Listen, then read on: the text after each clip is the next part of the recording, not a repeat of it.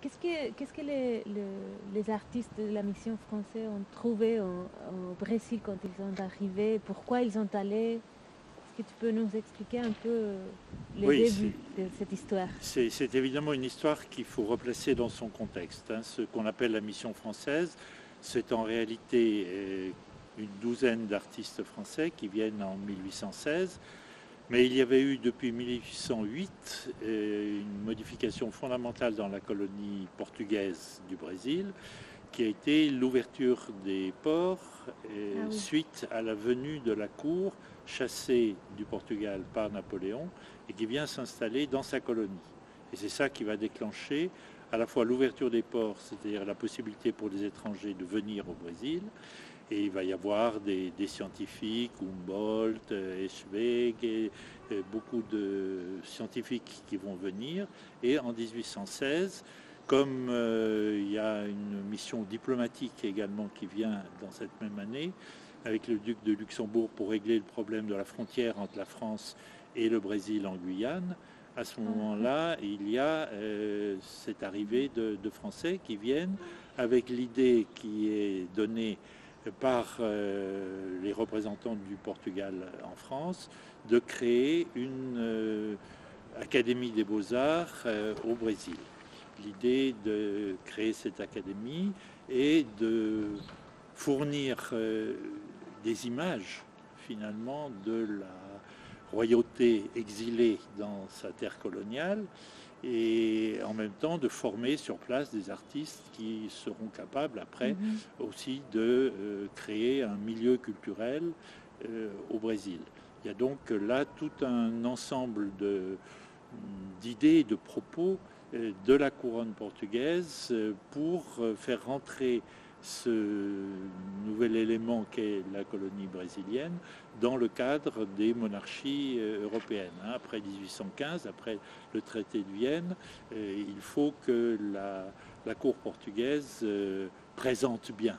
Pour bien présenter, il faut des images et Debray va participer à ce, mais pas seulement Debray, il y aura Tonnet, il y aura d'autres artistes qui vont participer à ça et euh, créer donc un milieu culturel qui n'existait pas dans, la colonie. Mhm. et, justement, euh, Debré et les, autres artistes ont une formation, viennent avec une formation d'artistes académiciens, mais ce qu'on voit dans les images, c'est pas pas du tout le travail d'un artiste académicien en tant que peinture classique. Oui, tout, à fait. Ça, c'est un point très très important, c'est que en fait, le travail de Debray euh, en particulier va être un travail double. Il est peintre de cours et là, il va utiliser tout son savoir appris avec euh, David, puisqu'il est chef de l'atelier de David pendant la période de, l'Empire euh, en France. Il est passé par toutes les formations, notamment la formation de peintre d'histoire, qui est le degré le plus haut mhm. de formation, le plus exigeant. Il sera aussi professeur de dessin à l'école polytechnique au moment où est fondée l'école polytechnique en 1794. Et donc euh, Debray va avoir un côté de sa, son activité directement lié à la cour et où il fera les portraits de, la famille royale et surtout les grandes images de la les grands moments, le couronnement de Jean VI, euh, les enterrements, l'arrivée de Léopoldine de Habsbourg qui épousera le fils de Jean VI qui deviendra Pedro I, premier empereur du, Brésil. Donc euh, il y a ce côté officiel. Et puis il y a le travail qui nous intéresse le plus aujourd'hui, qui est le travail que Debray va faire pour lui, tout seul, sans le montrer jamais à personne. Et c'est ce que j'appelle le travail dans la rue. C'est-à-dire, il va s'asseoir, on a ce portrait très étonnant de lui où il est assis sur un trottoir avec un petit chapeau en papier sur la tête, en train de, dessiner comme ça et de capter au fond la, vie quotidienne, la vie de la rue euh, à Rio de, Janeiro.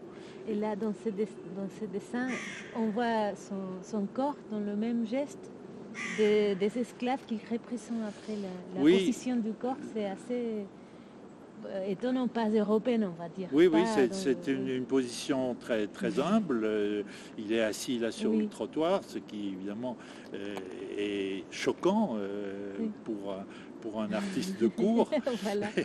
Mais c'est aussi à partir de ce point de vue-là mm. qu'il va faire le travail qu'il rapportera à Paris les 800 aquarelles qu'il va faire, qu'il rapportera à Paris et qui lui serviront après à la publication de ce voyage pittoresque et historique au Brésil qu'il va publier entre 1834 et 1839. Et parle-moi un peu de, la réception qu'il a reçue, qu'il a eue ici en France après sa, venue. Alors, le, Debré a, disparu complètement des radars de l'histoire de l'art parce que son livre n'a eu aucun succès. Il faut bien imaginer que la représentation des esclaves qui constitue presque l'essentiel de euh, ce voyage pittoresque et historique au Brésil euh, n'intéressait absolument pas les Français. Les Français avaient aboli l'esclavage en 1792, mais euh, en réalité, Napoléon l'avait rétabli et donc personne ne voulait entendre parler de, l'esclavage. Donc pas plus les Français que les Brésiliens mm. qui ont rejeté le livre. Quand il a envoyé le livre euh, en hommage à Pedro II, qui était nouvellement empereur mm. en 1840. le livre a été rejeté en disant ce livre n'intéresse pas le Brésil. Évidemment, euh, avec le recul, on voit qu'au mm. contraire, ce livre a énormément intéressé, le, Brésil, mais, plus tard en réalité. Oui. mais en fait, euh, par rapport à d'autres artistes de la même époque, par exemple Rougendaz ou d'autres, il est devenu, enfin, Rougendaz, il est devenu un star, on va dire. et, par contre, Debré... Ben, c'est justement sur ce point-là, je pense qu'il faut réfléchir pour comprendre l'insuccès du livre de, de Debré comparé au succès de Rougendas, qui mhm. publie la même année un livre à peu près sur le même, avec le même titre. mais Rougendas, lui, était déjà un artiste un peu plus romantique et, beaucoup plus attentif surtout mhm. à son public. Euh, les voyages pittoresques, c'était un genre euh, à l'époque. Mhm un genre euh, qui plaisait aux Européens, parce que c'était exotique, on découvrait une nature nouvelle, des mœurs nouvelles, et ça, ça, intéressait. Mais le, côté très anthropologue de, de Debré, l'insistance qu'il met à parler de l'esclavage et à parler durement de, de l'esclavage, et quand je dis parler, c'est à travers les images, mais aussi à travers euh, les textes. Hein, il faut savoir que toutes les planches du livre euh, Voyage pittoresque et historique sont accompagnées d'un texte qui explique, qui explicite et qui analyse euh, véritablement l'image. Hein, l'image est une image composée. Euh, c'est un, récit que, que Debré fait. Il y, a, un côté narratif dans, les commentaires qu'il fait. Et il montre bien toujours, au fond, la hiérarchie des comportements. Hein, la hiérarchie sociale est toujours présente mm. en arrière-fond. On voit quand il montre par exemple euh, les cercueils, on voit le, cercueil d'un chevalier du Christ, euh, doré, velours, soie, etc. Et puis on descend toute la hiérarchie sociale pour arriver à la feuille de bananier mm. qui va euh, être le linceul de l'esclave d'un pauvre blanc qui n'aura qu'une feuille de bananier, il pourra même pas, euh, comme dit Debré, il ne pourra même pas l'envelopper de la natte sur laquelle il a vécu toute sa vie. Mm. Donc euh, dans, dans, ces images, il y a toujours une attention très, très précise à euh, les différences de position dans la société carioca brésilienne en, en général. Et en cela, euh, Debré est non seulement anthropologue lorsqu'il euh, regarde les instruments de musique, qu'il analyse euh, même certains traits linguistiques ou musicaux, mais il y a aussi un aspect sociologique, c'est-à-dire que la société est détaillée et, analysée dans ces strates toujours. Mm-hmm dans le contexte des explorations des artistes qui voyagent beaucoup, euh, qui voient beaucoup les pays justement qu'ils connaissent très bien, parfois euh, le premier regard européen de, certains zones du pays. Qu'est-ce que tu peux dire de Debré en tant que paysagiste? Alors, il est peu paysagiste dans la mesure où il. D'abord, c'est pas sa formation. Hein. Mhm. Parmi les, peintres français qui sont venus, il y, avait euh, Auguste Tonnet, qui et est Hercule Florence aussi, et Hercule Florence. Mais Hercule Florence, lui, n'avait pas de formation académique, tandis que Tonnet avait une formation académique et il fait du paysage, très beau paysage, euh, comme il en faisait quand il était en France. Mhm. Euh, Debray ne pratique pas le paysage, il est un, peintre d'histoire et donc il s'intéresse davantage à la société. En revanche, on voit bien, on a le paysage urbain, c'est-à-dire que les les constructions, euh, les, scènes qu'il montre sont toujours situées dans un endroit précis de la ville et on peut reconstituer très précisément euh, les fontaines dont il parle, ah la, place du palais, mm. l'église euh, do Rosario qui était l'église consacrée pour les esclaves. Et donc on, a une, géographie urbaine qui est très précisément mhm. euh, établie par Debré.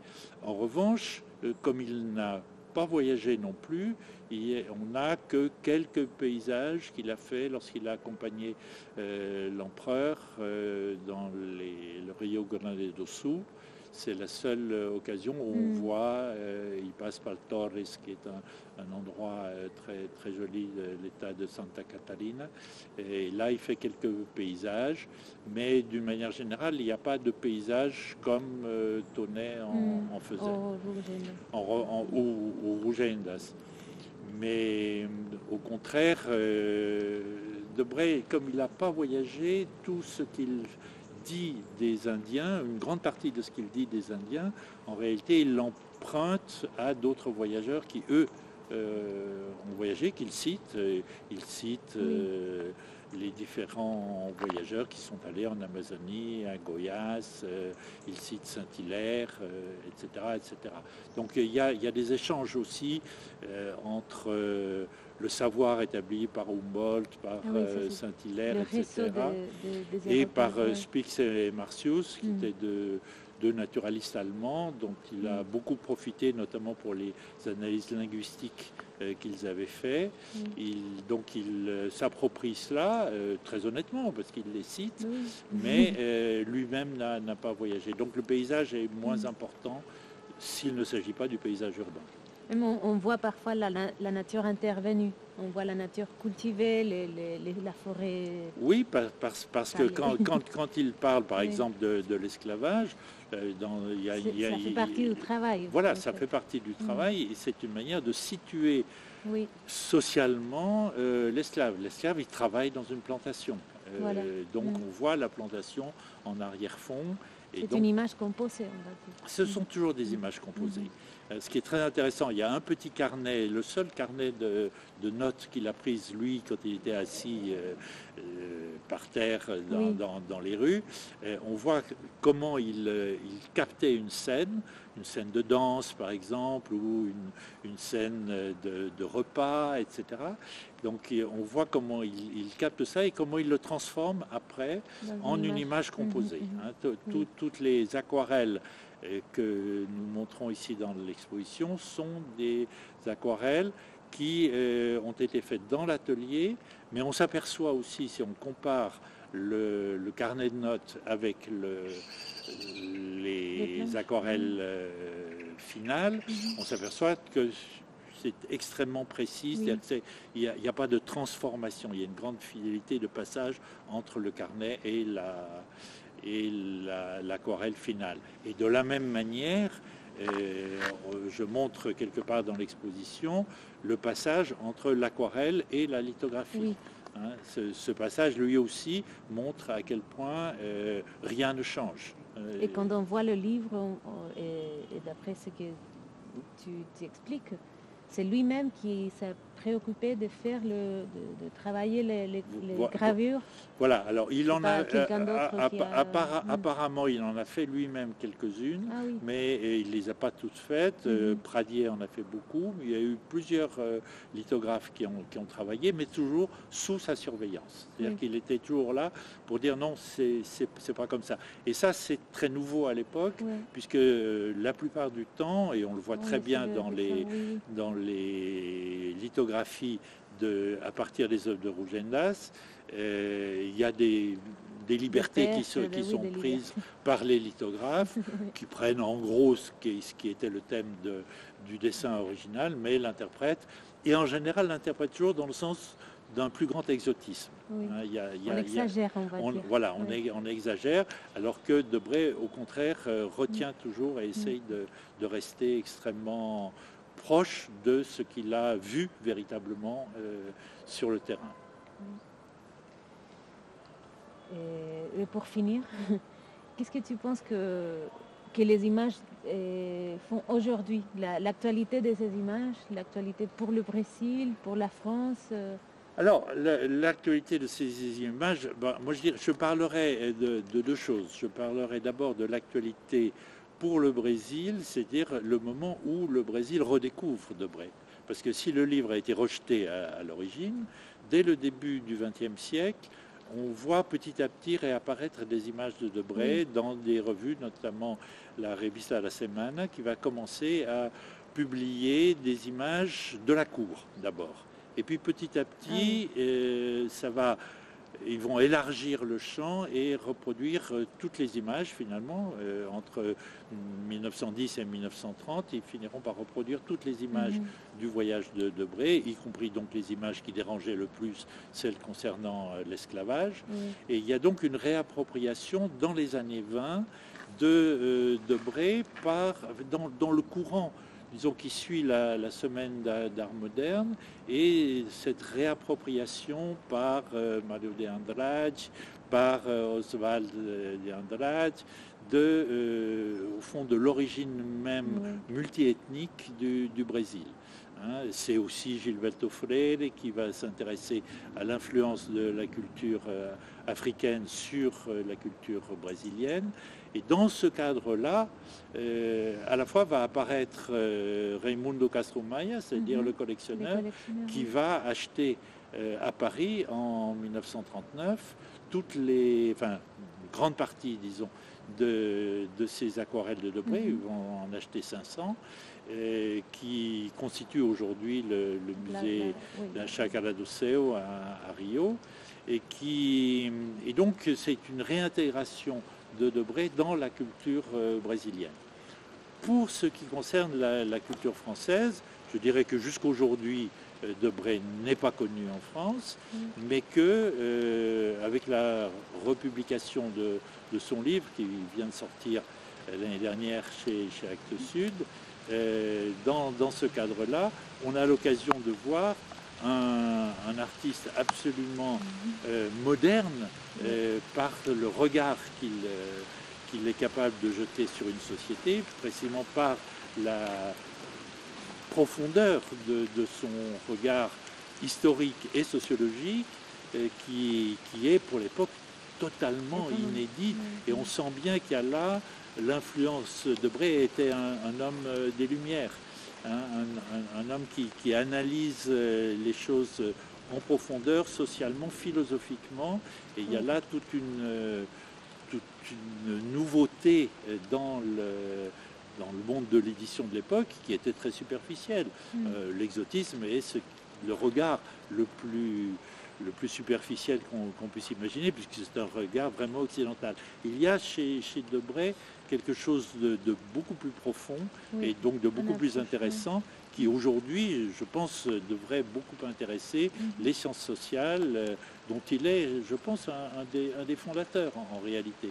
Mhm. Par le, par le décalage qui était le, sien, parce qu'il avait participé à la Révolution française, et du coup, il, il est capable de voir au Brésil quelque chose que j'appellerais la naissance d'une nation. Mais comment on fait une nation avec des nègres esclaves, des Indiens qui ont fui au fond des forêts, des Portugais et des, euh, des étrangers qui, Oui, des qui viennent, des, des nouveaux immigrants, puisque dès le début du 19e, euh, il y a des, des vagues d'immigration qui vont constituer le Brésil.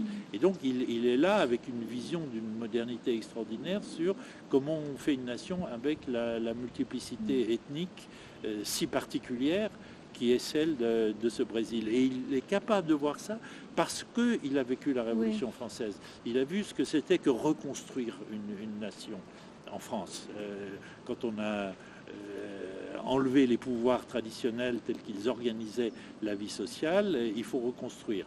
Et la France s'essaye depuis Oui, se pose la 1789 question, oui, euh, justement. à, de- à- à reconstruire. Et ben, au Brésil, et c'est pour ça qu'il va faire ce livre d'ailleurs, c'est parce qu'il est conscient qu'il assiste là à quelque chose de tout à fait singulier, qui est la transformation d'une colonie, c'est-à-dire rien du point de vue politique, en un empire, c'est-à-dire une autonomie, Tout. un tout.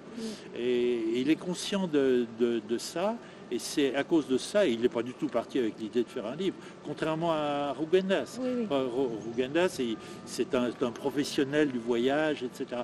De près, pas du tout, c'est pas un professionnel du voyage, c'est un professionnel de la peinture d'histoire et donc d'un regard historique sur le visible.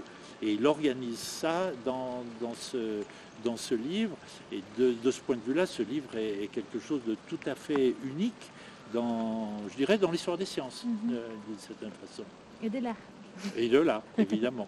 Oui. Puisqu'il dit, il dit très, très clairement, euh, je peins et je suis véridique en tant que peintre, mais la peinture elle-même a besoin aussi du texte comme soutien pour Mm. comprendre ce que je mets dans mes peintures. Donc texte et image sont là absolument indissolublement liés, et ça aussi c'est une caractéristique épistémologique tout à fait moderne.